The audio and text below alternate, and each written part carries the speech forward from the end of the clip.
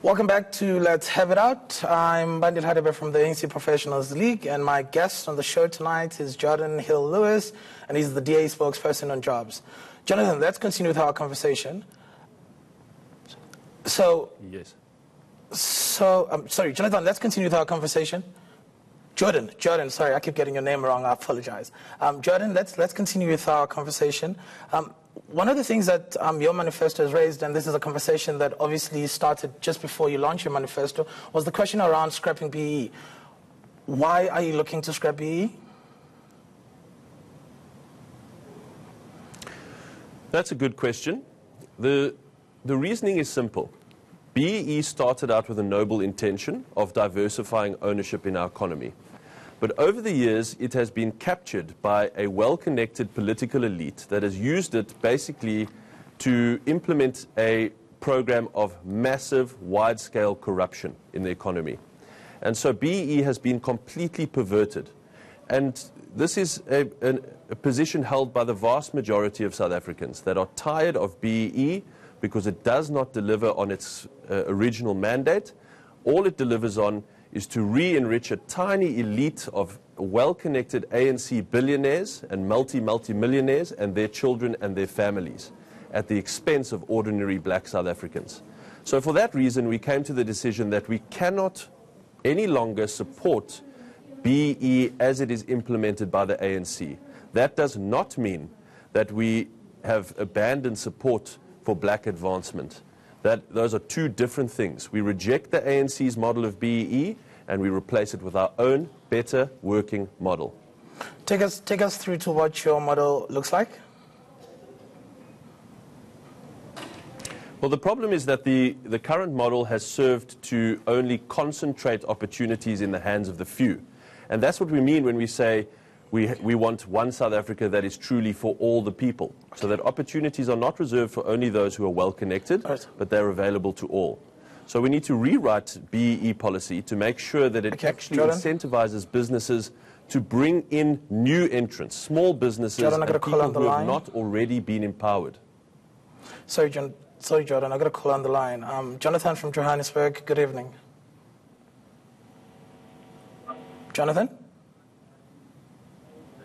Yeah, good evening. It seems I'm like trying to understand just particularly how does the DA have any understanding of what Black South Africa understands to get land in this country when the reality is the majority of the country has no land whatsoever, and you guys are holding the land with literally no way forward for the majority of the country.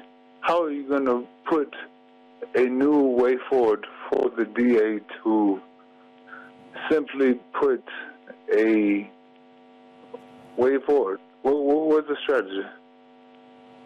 Jonathan? Thank you for your call, Jonathan. Geordin? What is your strategy?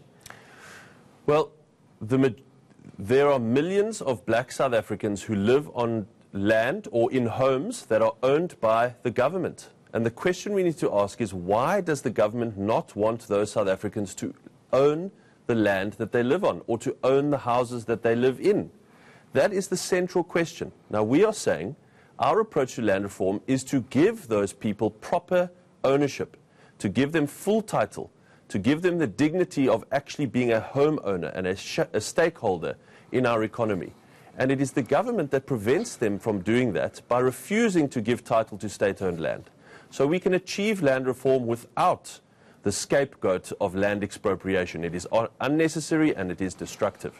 Geordin, Geordin, so there's a lie that the DA has perpetuated for, for too long.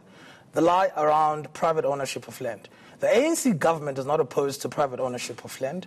The ANC government has also not suggested any process of nationalization of land. The ANC government is focused on pursuing a strategy where the land that is currently in the majority of white people is shared equally. I don't know where you guys get this idea that the ANC government wants to perpetuate where people are, are owned by the state. We are not pursuing a national nationalization of land policy as the African National Congress. But what we are pursuing, and this is the part that you continuously distort as the DA, and you've campaigned on an erroneous view about the ANC, about the government, with no basis. If you take, for instance, Gauteng, where Premier David Makhura has already started rolling out a process to allocate land, state-owned land, to, to the people. Now, now, you don't speak about that. You perpetuate this, this lie that we want to have people renting the land um, from the states, that the ANC want to own the land. The ANC has never said anything about nationalization of land. The DA came up with that concept and said the ANC is saying that. Let's take another call out from Cape Town. Nanglaba, good evening. Um, good evening, Bandila, and good evening to your guest. Um, I'd just like to rebut something that he said earlier on, um, where he claimed that in, in the in the in the public hearings for the constitutional amendment that close to a million South Africans were opposed to the expropriation of land without compensation.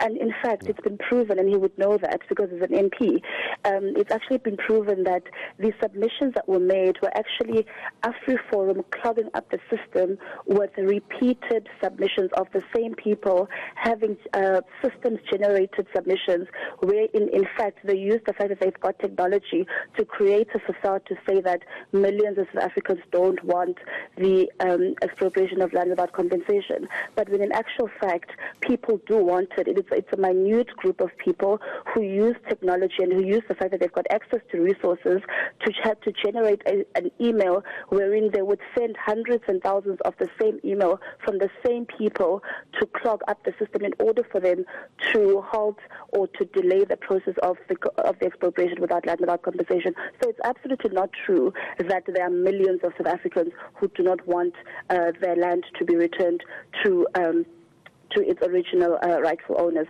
That's all I wanted to rebut. Thank you, Bandile. Thank you so much, Nangleba. Geordin, Nangleba says you are distorting the stat by a study that you conducted that was deliberately created to confuse South Africa. How do you answer to that? Bandile, let me, let me just respond to the comments that you made about the ANC government. And let me put this question to you, if I may turn the tables for a second. If it is true that you support land redistribution so much, why won't you give title to the millions of people who live in state sponsored houses and the millions of people who live on state owned land in rural areas? Why will you not give them title? If you really support land reform, why? Is, has it taken the DA to hand over hundreds of th thousands of title? Geordin, I think, I, think, I think what you keep distorting is that it's a lie that you now have begun to believe as the DA that we don't hand our title deeds to our people, which is not true.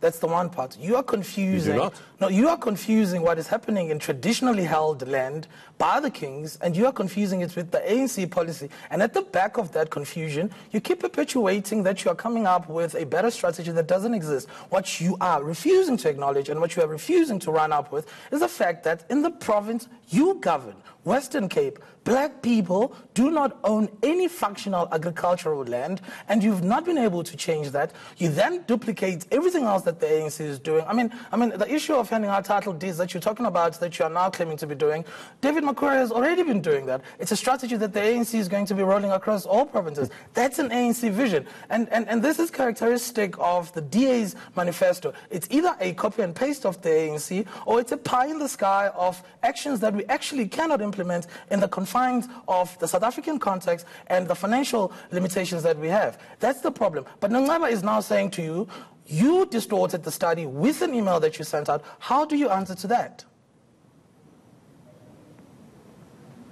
Well, I note, Bandile, that you have not answered my question on why the ANC refuses to give people title to the homes they live in. Mr. Makhura has come late to the party, and we welcome his, uh, his arrival to the party now, but he goes where the DA leads. That's where he follows. Now, let me answer your caller from Cape Town and say, I did not say, we must be accurate with our words. I did not say that a million South Africans opposed land expropriation. I said There were nearly a million submissions to that committee, and the majority of those submissions opposed land expropriation without compensation. Now, it's all well and good to say now we've had this public participation process, but because we don't like the results, well, we're just going to toss it aside and write off those, uh, those public comments as some kind of conspiracy. But actually, that's not how public participation works. There was an open, free public participation process, and the majority of South Africans who participated in that process opposed land expropriation without compensation because they know, as well as every right thinking South African knows, that it is a destructive policy and it is nothing more than excuse for 25 years of failure. Geordin, let's let's move on. We, we're clearly not going to agree on this land issue because you would want South Africans to continue paying for land that No. was stolen from them. Um, that aside, take South Africa to confidence um, with Give them regard title. to your, take South Africa to confidence with regard to your pro-poor um, concept that also speaks about equal opportunities for people with unequal background. How do you sell this pro-poor debate while you speak about this equal opportunities for all South Africans? How can you pursue equal opportunities for South Africans without taking into cognizance the background that we're coming from, the legacy of this country that requires us to repudiate certain imbalances of the past? You are just saying everybody must imagine that we are now starting at the same starting line with equal backgrounds and equal skills and equal supports, but that's not the reality. Geordin? No, of course, Bandile, I think on there we may find some agreement.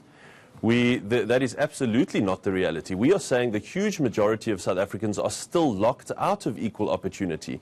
They have terrible education, they have terrible health care, they grow up in real poverty.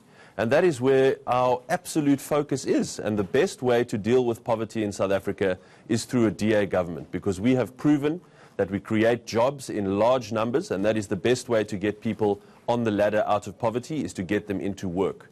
We improve education, we improve public health care, and so doing, over time, we improve people's opportunities and bring them up to the level of equal opportunity. We have never said that that is already the case. Our complete focus is on how to get people out of poverty, and we do it best. Okay, I've got, I've got a call for, I've got a caller from Durban, Geordin. Um, Vuyisi, good evening.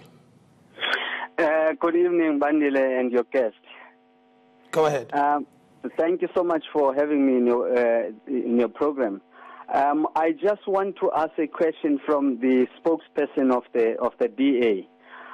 Um, he talks uh, about advancing uh, the agenda of uh, the black majority. Um, you know, in, when it comes to the land question, but I am not convinced because I have seen uh, many black leaders in the DA being patronized. So I don't think they are pro uh, black. It's just that towards the election, they will say something that would want to attract uh, black people to vote for them, but they have no mercy at all when it comes to the leadership of the of, of uh, there, there is no example from what we have seen in the leadership uh, black leaders in the DA. The examples are clear. Uh, there's Patricia de Lille, you know, there's uh, Ntuli, there's uh, there's many of them that have not been advanced. I don't believe in the DA advancing the black uh, majority agenda. Thank you so much for, for the opportunity. Thank you, thank you, Vuyisi. Can we also take Keke from Bloemfontein? Hi, how are you? Good evening, Keke. Go ahead, my brother. Yes, um, the gentleman from the DA, I, he was talking about, he was asked about the BEE alternative, but it seems like he's very evasive, he's not giving clear answers. Can you still answer that question because he's not I'm saying sorry, anything I've lost about the it? signal. Okay. Um, Geordin, just coming back to you. Lost the um, signal? Vuyisi from Durban raises a very critical question, and, and I want to contextualize it this way. Um, in, in your executive, if you, Geordin, are you still with us? Geordin, are you still with us?